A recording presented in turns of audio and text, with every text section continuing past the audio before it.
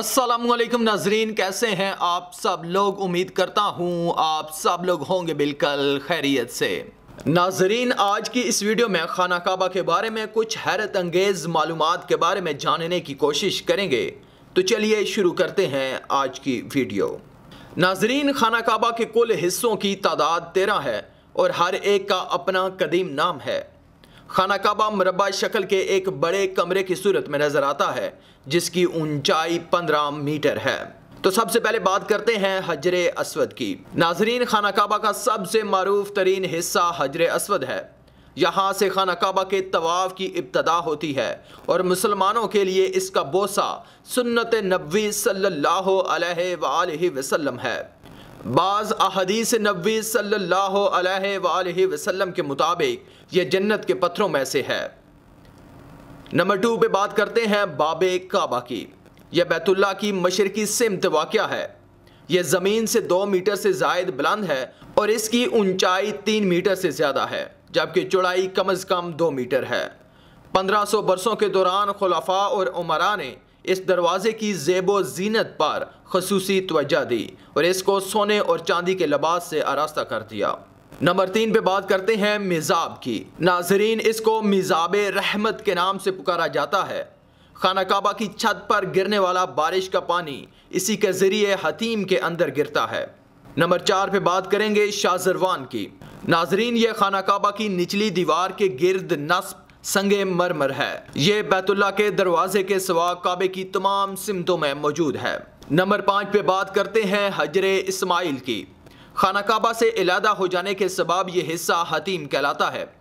Crash نے خانہ کعبہ کی تعمیر و نو کی تو اس حصے کو چھوڑ دیا تھا، کیونکہ وہ اس بات کے خواہش مند تھے کہ تعمیر پاک مال سے ہونا چاہیے۔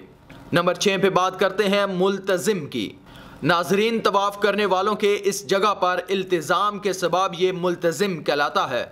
ماضی میں بعض قصوروار اور مجرم اپنے قتل سے فرار اختیار کر کے یہاں آ جاتے تھے۔ اس وجہ سے عربوں میں شدید جرم کے مرتکب شخص کے لیے یہ ضرب المثل مشہور ہو گئی کہ اگر وہ مجھے ملتظم پر بھی مل جاتا تو میں اس کو قتل کر دیتا۔ نمبر سات پہ بات کرتے ہیں مقام ابراہیم کی۔ ناظرین، بعض لوگوں کا کہنا ہے کہ یہ خانہ کعبہ کا حصہ ہے، تاہم علیحدہ ہو گیا۔ اس میں ایک چٹان ہے جس میں پاؤں کے نشانات نقش ہیں۔ یہ سیدنا ابراہیم علیہ السلام کے پاؤں کی جانب کنایا ہے۔ جب اللہ رب العزت نے ان کو حکم دیا کہ وہ لوگوں کو حج کی اجازت دیں۔ نمبر آٹھ پہ بات کرتے ہیں رکن حجر اسود کی۔ ناظرین، یہ کونا خانہ کعبہ کے اوپر سے نیچے تک پھیلا ہوا ہے۔ اسی میں حجر اسود نصب ہے۔ یہاں سے طواف شروع کیا جاتا ہے اور اسی وجہ سے یہ خانہ کعبہ کے اہم کونوں میں سے ہے۔ نمبر نائن پہ بات کرتے ہیں رکن یمانی کی۔ ناظرین، یہ کونا کعبے کے دائیں جانب واقع ہے۔ اسی وجہ سے یمین سے یمانی مشہور ہوا۔ نمبر دس پہ بات کرتے ہیں رکن شامی کی۔ ناظرین، یہ کونا شام کی سمت ہے، لہٰذا اس نام سے مشہور ہو گیا۔ نمبر گیارہ پہ بات کرتے ہیں رکن عراقی کی۔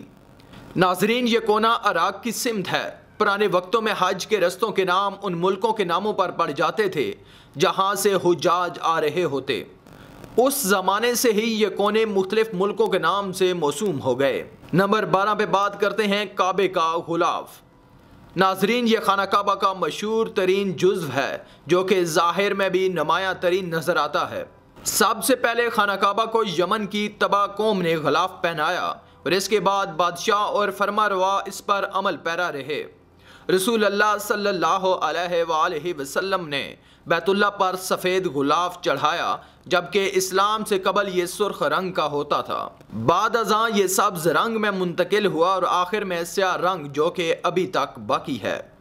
نمبر تیرہ پہ بات کرتے ہیں بھورے سنگے مرمر کی پٹی۔